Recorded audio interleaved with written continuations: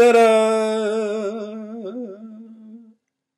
The following animation I created features the central whirl of the space whirlpool, M51, the Whirlpool Galaxy. At the end of this video, a link to share it will appear on the screen. You are encouraged to share the fun with your family and friends. For a very cool optical illusion, watch the next 45 seconds of video full screen and keep your eyes centered on the spinning galaxy for the duration.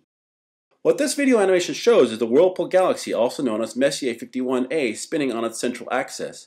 This galaxy has a smaller companion galaxy called Messier 51b that it interacts with. For the purposes of this video, it has been edited out. What came to be known as the Whirlpool Galaxy was discovered in 1774 by the French astronomer Charles Messier and given the name M51.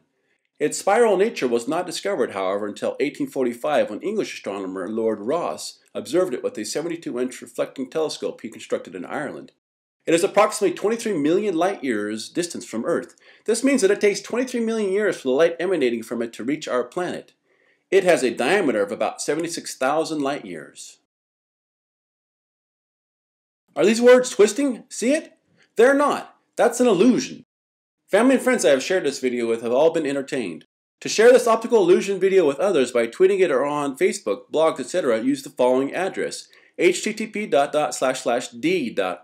slash space whirlpool.